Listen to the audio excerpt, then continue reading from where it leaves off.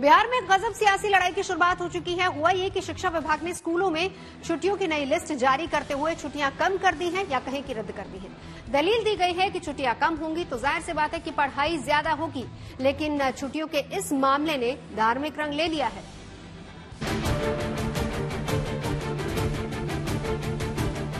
बिहार के स्कूलों में शिक्षा चाहे जैसी हो, राज्य के शिक्षा मंत्री और शिक्षा विभाग अक्सर विवादों में रहते हैं।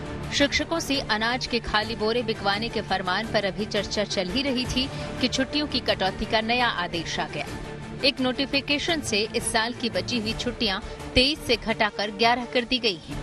यानी सितंबर से दिसंबर के दरमियान त्योहारों की 12 छुट्टियाँ खत्म कर दी गई हैं।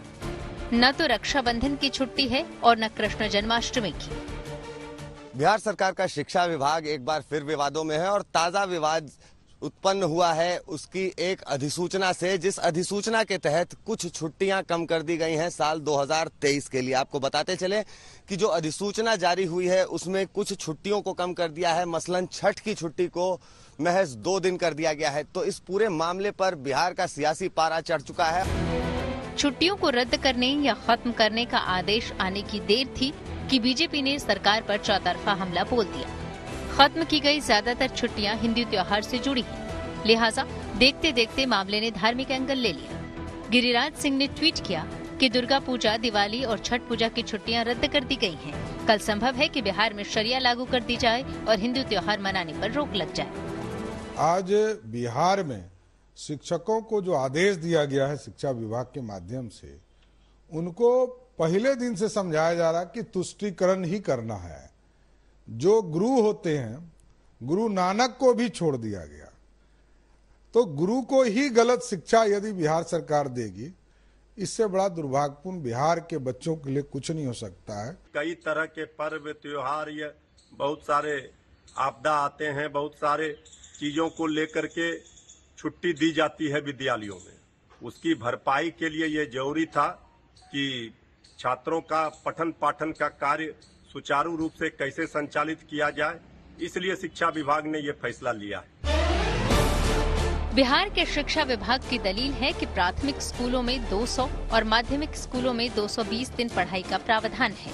इसके पालन के लिए और छात्रों की बेहतरी के नाम पर त्योहारों की छुट्टियाँ या तो रद्द कर दी गई हैं या कम कर दी गई हैं। लेकिन तर्क अपनी जगह है और आस्था अपनी जगह है। बवाल इसलिए ज़्यादा है क्योंकि दिवाली से छठ तक नौ दिनों की छुट्टी थी। जिसे घटाकर चार दिन कर दिया गया है। हमारे सनातन धर्मावलंबियों में बड़े बड़े त्योहार है। उस त्योहार की छुट्टी माँ बहन विशेष रूप से उसमें उपवास करती हैं, उसका पर्व का सारा व्यवस्था, सारी व्यवस्था करती हैं। ये माँ बहनों के साथ घोर अत्याचार हो रहा है। बिहार की माँ बहन तुम्हें ऐसा ऐसा साप देगी कि तुम भस्म हो जाओगे, सापित हो जाओगे और तुम्हारी छुट्टी हो जाएगी।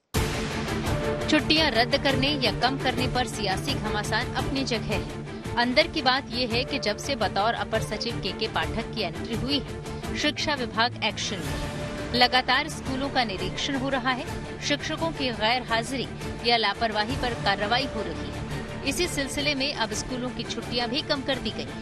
ये अलग बात है कि छुट्टियों को लेकर सियासी घमासान शुरू हो गया है। पटना से आदित्य वैभव के साथ bureau report, good news today.